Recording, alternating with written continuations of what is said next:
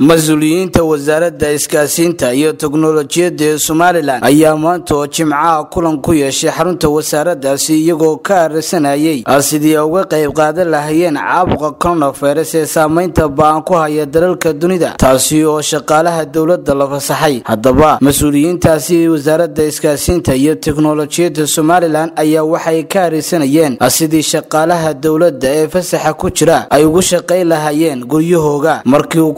kulankaasi soo dhammaaday. Waxaa warbaahinta la hadlay wasiirka wasaaradda iskaasiinta iyo teknolojiyadda ee somalilan isagoo ka warbixiyey kulankani. Ay maanta ku yeesheen xarunta wasaaraddaasi ay shaqaalaha dowladdu ay uga soo shaqayn lahaayeen guryahooda.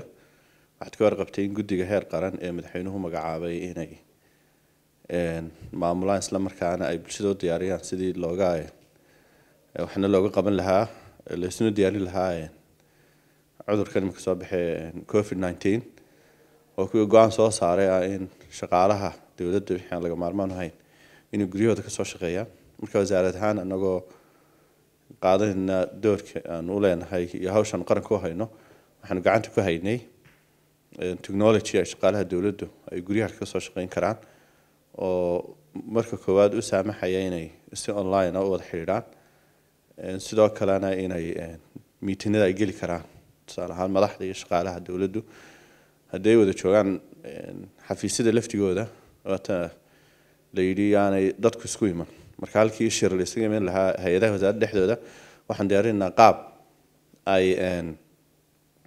shirarku u noqdaan online sidoo kalena ay isu weydaarsadaan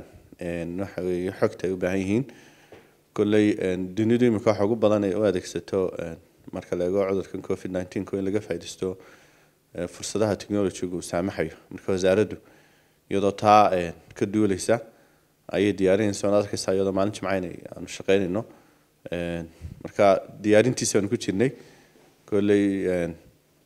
muddo laba saddex maalmood gudahoodna wasaaradaha iyo hay'adada dhanka kale wasiirka wasaaradda isgaarsiinta iyo teknolojiyadda somalilan ayaa waxa uu fariin u diray shirkadaha isgaarsiinta ee somalilan. Shirkadaha gaarka loo leeyahay iyadoo la ilaalinayo badqabka bulshada iyo shaqaalaha shaqeeya in sidaa dowladda imika wado inay diyaariso technology ay dadku guryaha ga soo shaqeynayaan in shirkaduhuna iyaga maaragtay saas oo kale ay u fududeeyaan si loo yareeyo istimaatinka iyo dadka imanaya wixii shaqadu ay saamaxaysa inay guryaha kasoo shaqeeyaan waxaa jira intaasoo tuulo maaragtay u suurtagelinaya hawsha noocaasa isgaarsiintu waxay door weyn kaga jirtaa isku xidhka dadka iyo bulshada sidoo kale wacyigelintoodana qeyb bay ka tahay shirkadaha isgaarsiinta waan la xidhiidnay laftigooda annagoo u fududeyneynaa guddiga heer qaran ee ka kooban lixda wasiir iyo madaxweyne ku-xigeenka